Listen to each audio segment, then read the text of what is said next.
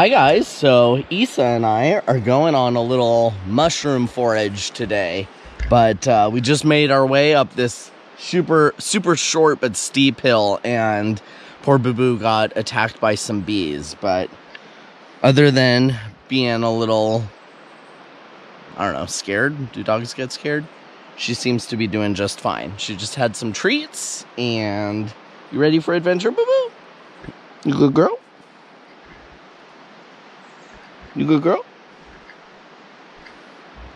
You good girl? Yeah. Okay. Found our first edible mushroom. It's pretty dry where I'm at. It's a little early in the season, but here's a bunch of oyster mushrooms. Here they are. Run on this old log, probably old hemlock.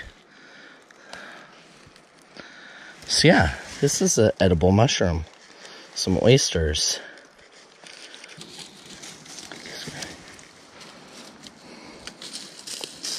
Put it back.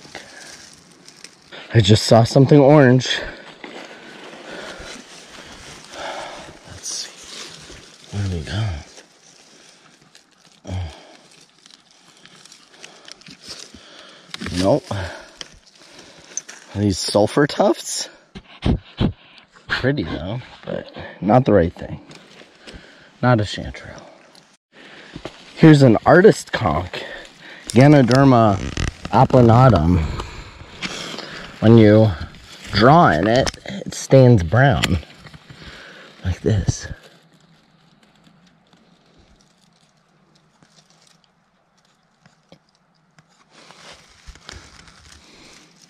Something really cool just happened. I heard an elk bugle sounded pretty far away, like probably across this drainage on the other side over there somewhere. But yeah, that was cool. I hope it does it again. Since I haven't really been finding many edibles, um, here's a really great specimen of the artist conk, the Ganoderma applanatum. And I think I'm actually gonna harvest these two to take with me to do a couple of cool little art projects with. Because when you uh, use like a, um, anything to scrape the underside with, like a stick or anything, it'll actually come out brown. And once it dries, it'll stay that color permanently. So it's really cool. So let's see if I can harvest these without staining them too much.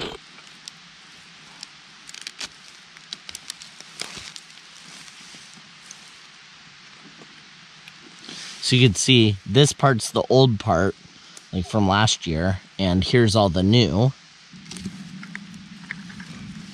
Huh. Much smaller surface to work with, and this one's got some mold on it, so. But I can kind of show you guys, so I'm gonna leave this one because it's like just kind of small, but check this out. Okay, so here's a little stick and our little mushroom, so.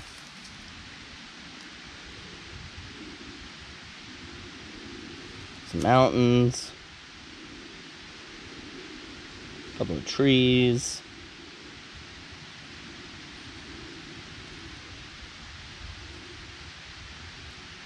So there you go. Kind of get the gist.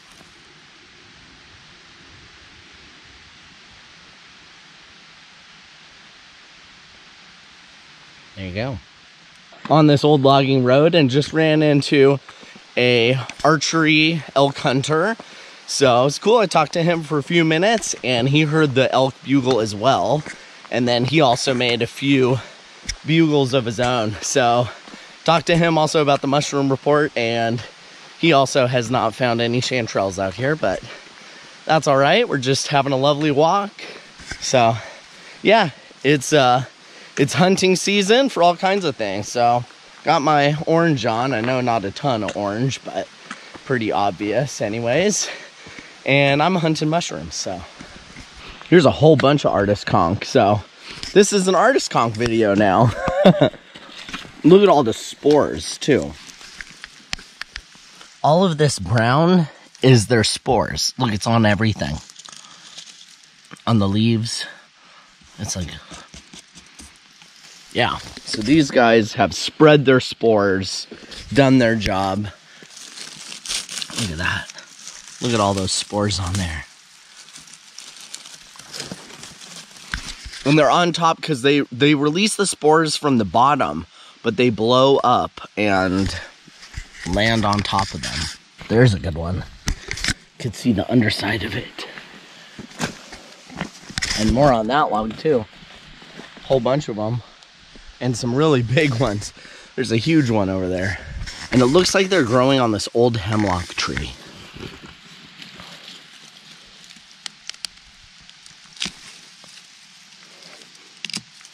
Oh yeah, that's gonna be a great one for drawing on and then I'm gonna give it away as a little present.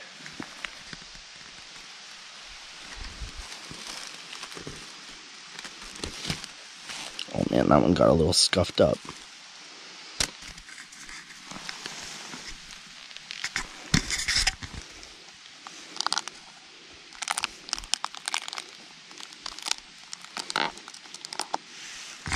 Perfect one.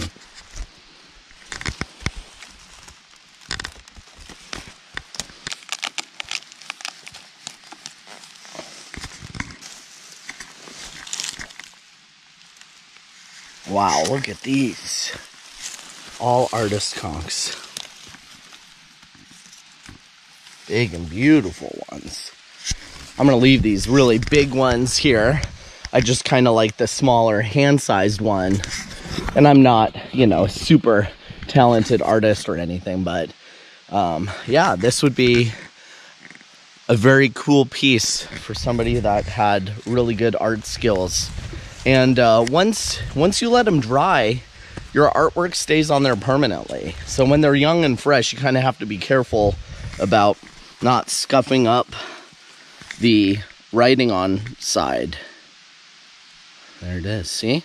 It happens that fast. And once it dries out, then it'll stay that way.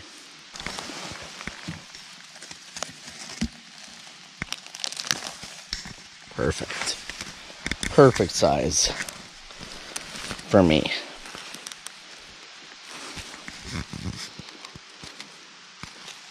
Look, here's a whole snag full of them.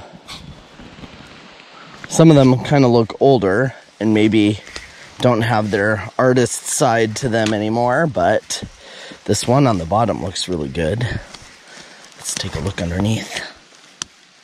Whoa. Look at all the spores on there.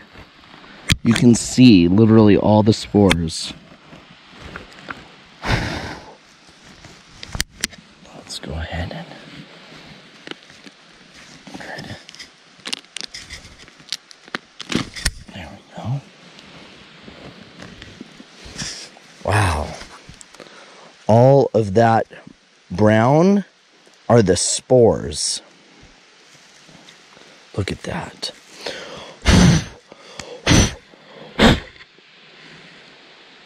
Tons, billions of them. Bunch of woodpecker holes. Here's some better oysters.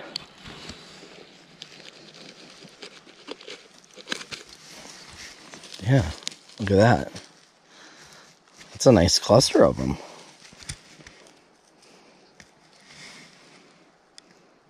Put that in the basket.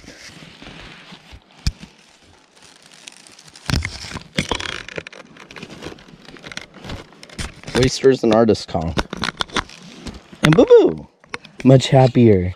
All right, so Boo Boo and I, hey, had a fun little forage today. Not a lot in terms of edible mushrooms, not a lot of mushrooms in general, kind of dry in this area. But the cool find was the artist conk, the Ganoderma applanatum. And I'm not a great artist or anything, but excited to take home a little basket of them and uh, test the old left side of the brain and do some creative drawing on there and give a few of them away as little gifts. So Isa got her bee stings this morning, but she's much better now. Happy dog. And yeah, we're to head back. So thank you guys for watching the short little video. Appreciate you all and your likes, subscribe, comments, all those great things. Thank you so much. And I'll see you on the next one. Bye bye.